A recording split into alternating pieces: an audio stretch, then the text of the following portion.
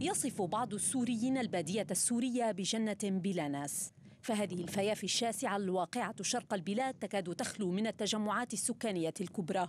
لكن البادية التي تحتل نحو نصف مساحة سوريا باتت أخيرا تستقطب حضورا بشريا متزايدا في ظل ما يشبه سباقا عسكريا للسيطرة على الخط الحدودي الشرقي لسوريا مع العراق. يقوده من جهة التحالف الدولي ضد داعش بقيادة الولايات المتحدة والقوات المدعومة منه ميدانيا ومن جهة أخرى القوات النظامية السورية مدعومة بحليفيها الروسي والإيراني. شمالا تخوض قوات سوريا الديمقراطية قسد مدعومة من التحالف معركة الشرق السوري في محافظة الرقة حيث تميل موازين المعركة ضد داعش باضطراد لصالحها.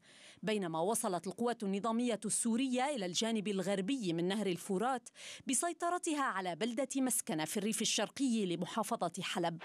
أما قسد فقد ضيقت بسيطرتها على سد البعث الاستراتيجي على الجانب الشرقي من نهر الفرات وعلى ناحية المنصورة الخناقة على داعش في الرقة.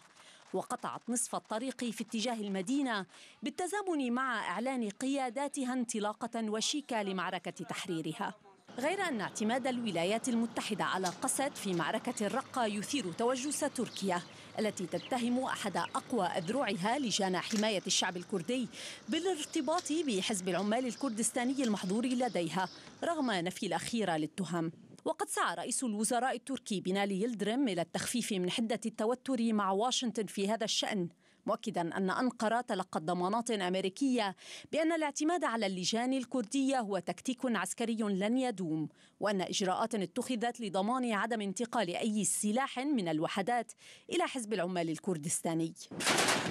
أما في الوسط فتحقق القوات النظامية السورية تقدما في بادية تدمر باتجاه الحدود العراقية السورية حيث تسعى لفتح طريق نحو السخنة ومنها باتجاه محافظة دير الزور الحدودية مع العراق.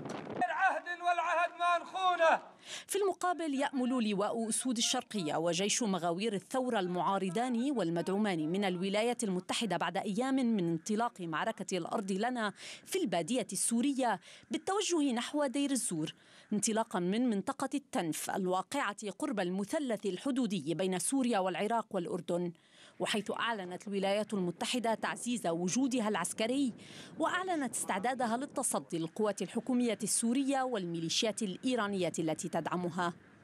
ولا يقتصر السباق نحو الحدود على الجانب السوري.